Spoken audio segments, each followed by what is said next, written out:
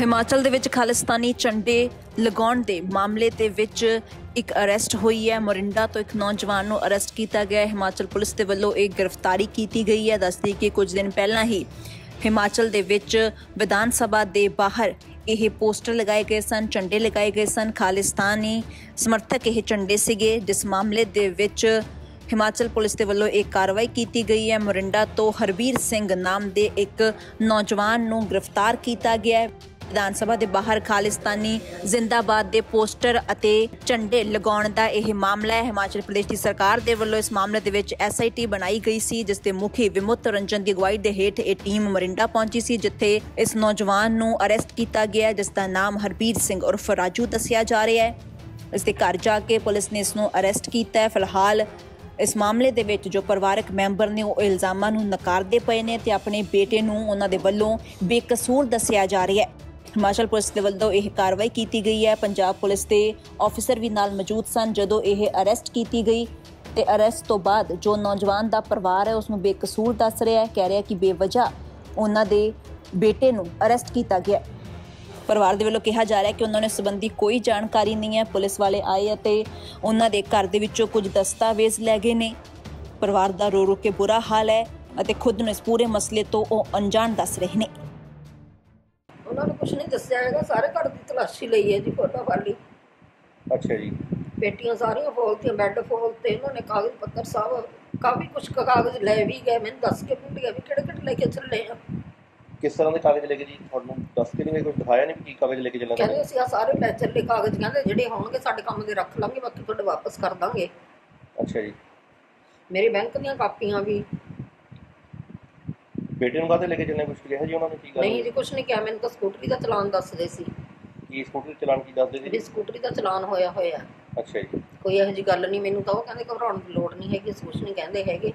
ਅੱਛਾ ਜੀ। ਕਿੰਨੇ ਬੰਦੇ ਸੀ ਵਾਲੇ ਜਿਹੜੇ ਆਏ ਸੀ ਘਰ? 10 12 ਬੰਦੇ ਸੀ ਜੀ। ਅੱਛਾ ਜੀ। ਬੇਟਾ ਤੁਹਾਡਾ ਘਰ ਸੀ ਉਸ ਟਾਈਮ ਜੀ? ਨਹੀਂ ਜੀ ਘਰ ਨਹੀਂ ਸੀ। ਕਿੱਥੇ ਸੀ ਜੀ? ਬਾਹਰੋਂ ਫੜਿਆ ਜੀ ਇਹਨਾਂ ਨੇ। ਬਾਹਰੋਂ ਫੜੇ ਜੀ। ਹਾਂਜੀ। ਜਦ ਘਰ ਆਇਆ ਬੇਟਾ ਨਾਲ ਸੀ ਨਹੀਂ ਜੀ। ਕੀ ਹੁਣ ਤੁਹਾਨੂੰ ਕੁਝ ਕਹਿ ਕੇ ਗਏ ਨਹੀਂ ਕਿ ਥਾਣੇ ਆਣਾ ਕਿਤੇ ਜਾਣਾ ਕੁਛ ਉਹ ਮੈਨੂੰ ਇੱਕ ਲੇਡੀ ਪੁਲਿਸ ਸੀਗੀ ਨਾਲ। ਹਾਂਜੀ। ਉਹ ਮੈਨੂੰ ਮੈਂ ਉਹਨਾਂ ਨੂੰ ਕਿਹਾ ਸੀਗਾ ਮੈਂ ਕਿਹਾ ਵੀ ਮੇਰੇ ਕਾਗਜ਼ ਪੱਤਰ ਜ਼ਰੂਰੀ ਨੇ ਇਹ ਦੇ ਦਿਓ ਤੁਸੀਂ ਮੈਨੂੰ। ਮੈਨੂੰ ਕਹਿੰਦੇ ਵੀ ਤੁਸੀਂ ਇੱਥੇ ਆ ਜਾਓ ਥਾਣੇ 'ਚ ਵੀ ਇਹਨਾਂ ਨੇ ਪੜ੍ਹਨੇ ਪੜ੍ਹਨੇ ਨੇ ਇਹ ਕਾਗਜ਼ ਵੀ ਫਿਰ- ਤੁਸੀਂ ਲੈ ਆਇਓ। ਮੈਂ ਕਿਹਾ ਵੀ ਮੈਂ ਕਿਵੇਂ ਆ ਸਕਦੀ ਮੈਂ ਤਾਂ ਆ ਨਹੀਂ ਸਕਦੀ ਬਿਲਕੁਲ ਵੀ ਵੀ ਨਾ ਸਾਡੇ ਘਰ 'ਚ ਕੋਈ ਜਿਹੜਾ ਮੈਨੂੰ ਲੈ ਆਵੇ। ਕਹਿੰਦੇ ਕੋਈ ਗੱਲ ਨਹੀਂ ਕਿਸੇ ਗੁਆਂਢੀ ਨੂੰ ਲੈ ਕੇ ਆ ਜਾਇਓ। ਜੀ। ਤੁਹਾਨੂੰ ਕੁਝ ਨਹੀਂ ਦੱਸਿਆ ਵੀ ਕਾਹਤੇ ਮੁੰਡੇ ਨੇ ਤੁਹਾਡੇ ਨੂੰ ਗ੍ਰਿਫਤਾਰ ਨਹੀਂ ਕਰਿਆ ਜੀ ਕੁਛ ਨਹੀਂ ਦੱਸਿਆ ਬੇਟਾ। ਕੰਮ ਕੀ ਕਰਦਾ ਜੀ? ਬੇਟਾ ਜੀ ਗਾਹ ਟਿੱਪਰ ਚਲਾਉਂਦਾ। ਇਹ ਜੋ ਧਰਮਸ਼ਾਲਾ ਦੇ ਵਿੱਚ ਖਾਲਸਾਨ ਦੇ ਪੋਸਟਰ ਲੱਗੇ ਸੀਗੇ ਉਸ ਸੰਬੰਧ ਵਿੱਚ ਤਾਂ ਧਰਮਸ਼ਾਲਾ ਪੁਲਿਸ ਸਟੇਸ਼ਨ ਦੇ ਵਿੱਚ ਪਰਚਾ ਦਰਜ ਸੀ। ਉਹਦੀ ਤਫਤੀਸ਼ ਦੇ ਸੰਬੰਧ ਵਿੱਚ ਹਿਮਾਚਲ ਦੀ ਪੁਲਿਸ ਇੱਥੇ ਆਈ ਸੀ। ਤੇ ਰਾਜੂ ਨਾਮ ਦਾ ਜਿਹੜਾ ਹੈਗਾ ਇੱਕ ਬੰਦਾ ਉਹਨਾਂ ਨੇ ਇਸ ਮੁਕੱਦਮੇ ਦੇ ਵਿੱਚ ਨੋਮੀਨੇਟ ਕੀਤਾ ਸੀ ਉਹਨੂੰ ਲੈਣ ਵਾਸਤੇ ਆਈ ਸੀ ਉਹ ਲੈ ਕੇ ਗਏ ਨੇ। ਹੋਰ ਕੀ ਕੀ ਬਰਾਮਦ ਹੋਇਆ ਉਹਦੇ ਚੋਂ?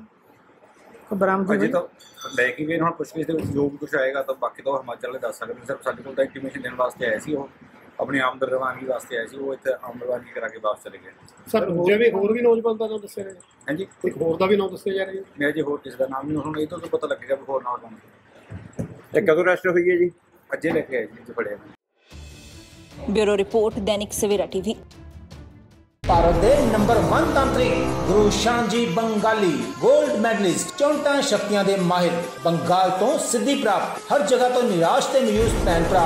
ਇੱਕ ਵਾਰ ਜ਼ਰੂਰ ਫੋਨ ਕਰੋ। ਹਰ ਸਮੱਸਿਆ ਦਾ ਹੱਲ ਘਰ ਬੈਠੇ ਫੋਨ ਤੇ। My promise 100% result love marriage ਸੌਂਕਣ ਦੁਸ਼ਮਣ ਤੋਂ ਛੁਟਕਾਰਾ, ਪਤੀ ਪਤਨੀ ਚ ਕਲੇਸ਼, ਕੀਤਾ ਕਰਾਇਆ ਵਿਦੇਸ਼ ਯਾਤਰਾ, ਨੌਕਰੀ, ਕਾਰੋਬਾਰ ਚ ਪਰੇਸ਼ਾਨੀ ਕੋਰਟ ਕੇਸ ਰੁੱਸੇ ਨੂੰ ਮਨਾਉਣਾ ਹੋਵੇ ਤਾਂ ਹੁਣੇ ਫੋਨ ਕਮਾਓ। 101% ਪੱਕਾ ਸਮਾਧਾਨ ਪਾਓ। ਮਾਂ ਵਸ਼ੀਕਰਨ ਤੇ ਮਾਂ ਮੁਟਕਰਨ ਦੇ ਸੁਪਰ ਸਪੈਸ਼ਲਿਸਟ ਗੁਰੂ ਸ਼ਾਂਜੀ ਬੰਗਾਲੀ 9958635478